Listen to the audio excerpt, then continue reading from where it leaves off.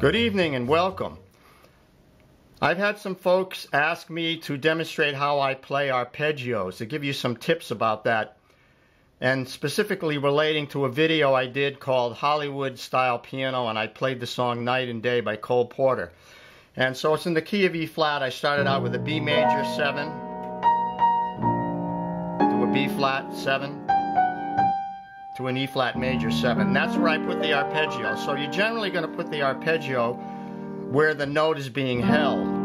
So that's the held note. This is the moving note. That's the held note. Now, so I put the arpeggio in there. So now what I'm doing is I'm taking these three fingers.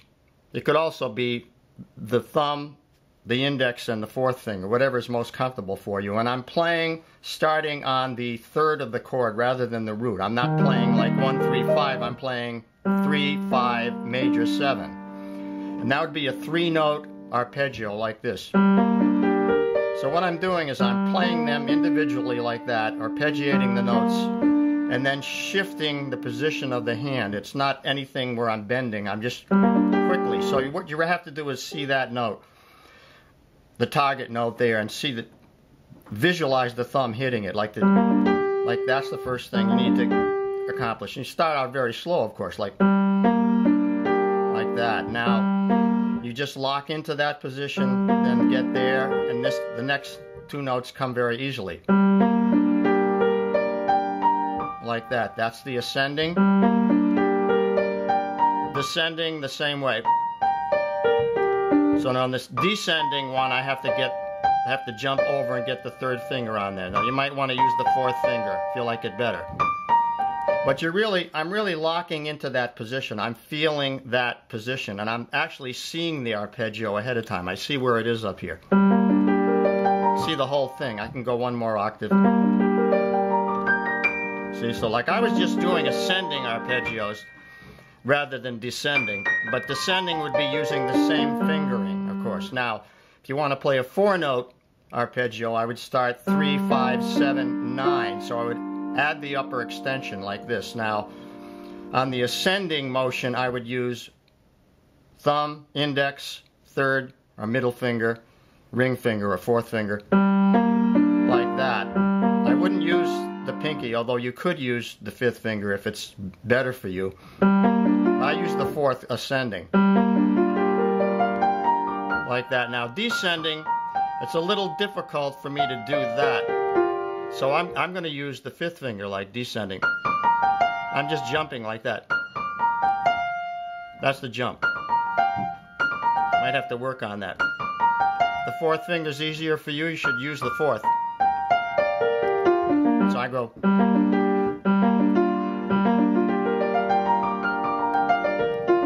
I'm not as good with that as I am with the three notes.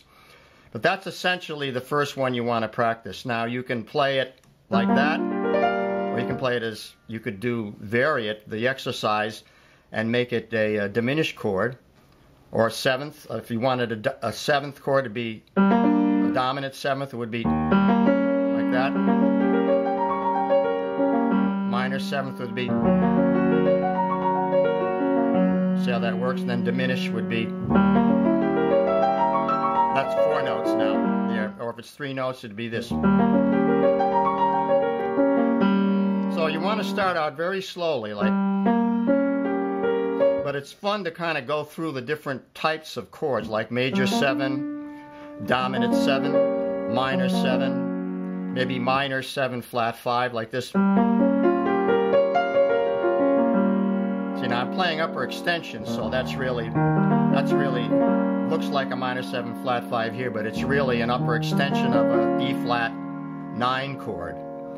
So, but it forms a minor 7 flat 5 from this position. So I'm using the fifth finger then. Now diminished. See, so, like that. I'm better at ascending here. So I'm better with the fifth finger because I have actually a bent finger here, so it helps. I have a problem stretching in my right hand, but my left hand I can reach a tenth easily. Now that's a good way to start. Now you can play them on any chord you want. Like you start, you can start with C if that's easier for you. Start on the third. That's the major. Dominant would be.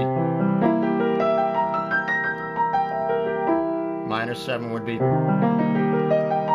one.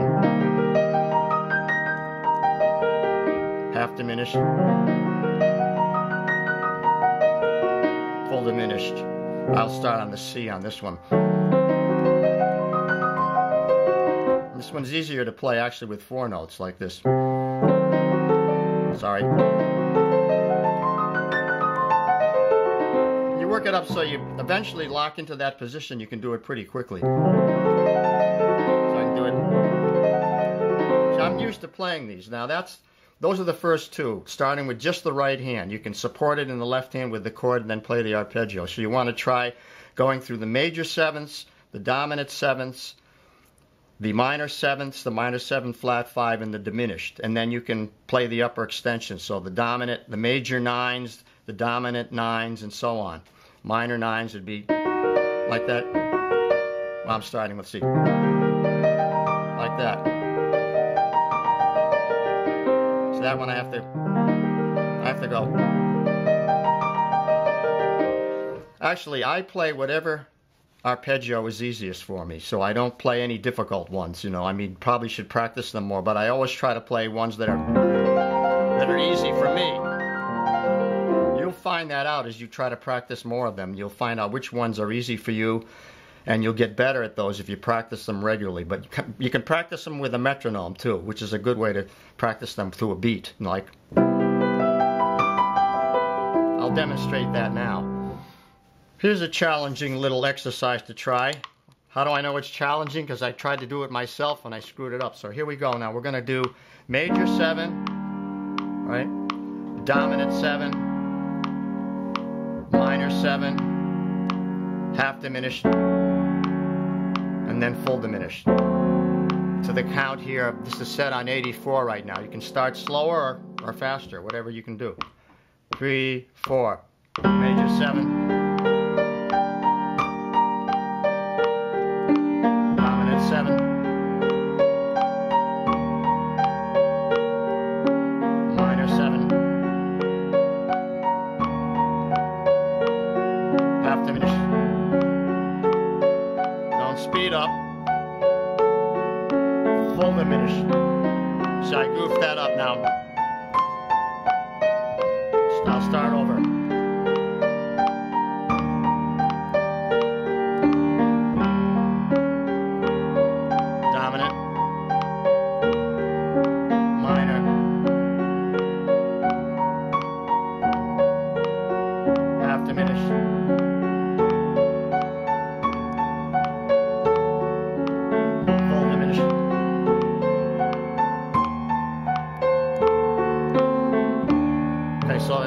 7, to not speed up. That's the challenge, but that's a fun thing to try to do. So now there you have the concept on the right hand arpeggio, using either three notes or four notes, and then putting it to a metronome.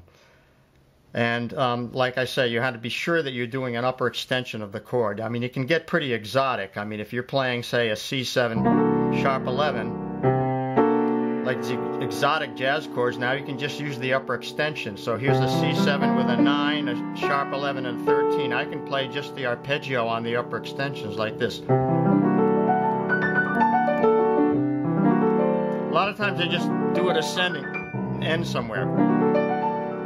Like that. Like that. So now I want to show you a little bit about the two-handed arpeggios. And first, a very simple one. Let's take the same chord, that E flat major. And now I'm going to do this. I'm going to just, instead of playing the chord like that, I'm going to arpeggiate it in the right hand like this. So I'm going to put the bass note in the left hand. You can't see it, but I want to be close enough here. But I'm playing the E flat down there. Then I'm arpeggiating this. Or it's like a broken chord, like that. And then what I do is I duplicate it in the left hand like this. Like that then I go up to the next octave like this. And that sounds really good. It's pretty easy to do. I only do the easy things, right? You have to practice it slowly, of course, but.